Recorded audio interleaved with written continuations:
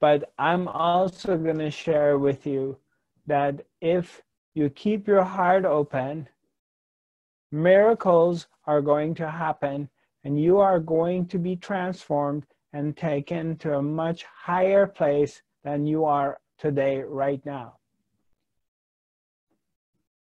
But if you resist it and you're really trying to hang on to all of it and you buy into your mind freaking out, it's going to be hell and there's going to be a lot of suffering.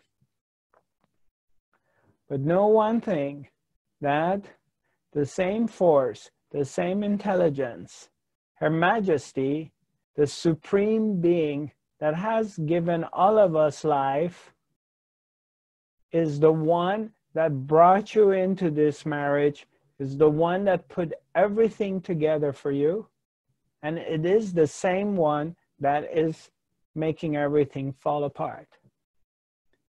If you can trust that and recognize the presence of God that put this together and now is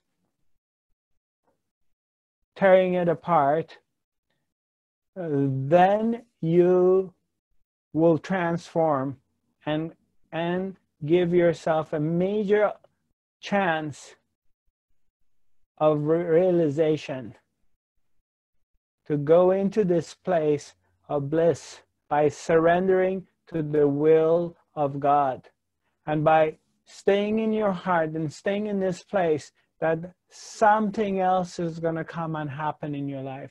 Something is going to take care of you. Doors will open up to you no matter how dark things seem to be. And this is a part of your path and your karma. This is a part of your spiritual evolution to come to this. This is actually not a bad place. This is actually a blessing because what God is doing right now to you is destroying the illusion that you used to live in. Is taking and ripping that illusion away. And it's going to bring you to this place of realizing so you're forced to look at what is real. What is it that doesn't change versus things that change. So maybe you have this opportunity to recognize and bring your attention inwards towards that which is always here with you, that which is the source of true love. And you find that comfort and that love here within yourself after all the turmoil that you go through.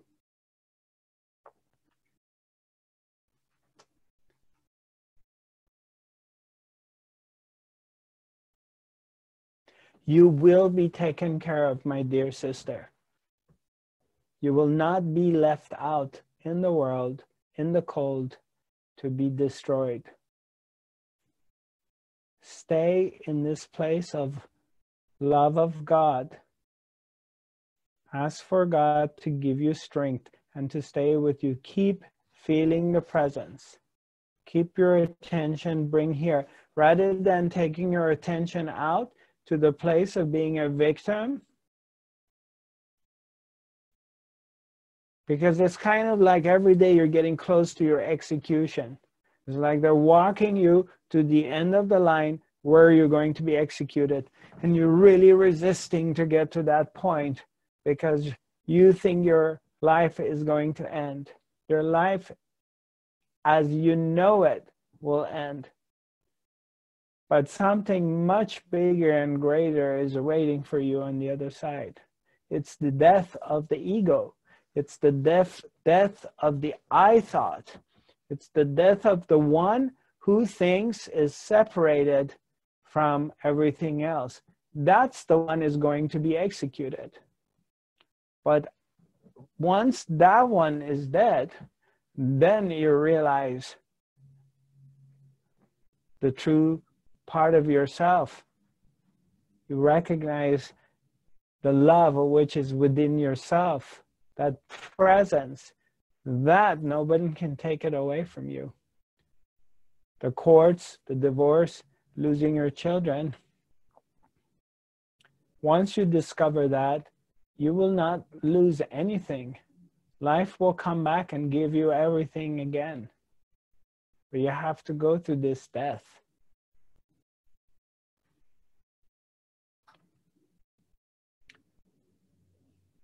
Okay, let me take a look at a couple of our messages here. I went through severe trauma from young age all the way to 13, was shattered, but thank thankfully have always been inclined to turn towards creator source. Have received many blessings, guidance has been long winding journey. And finally at age 67 beginning to settle into my center deeply appreciate support in doing that through you you not making it about you. Thanks zarathustra. Okay.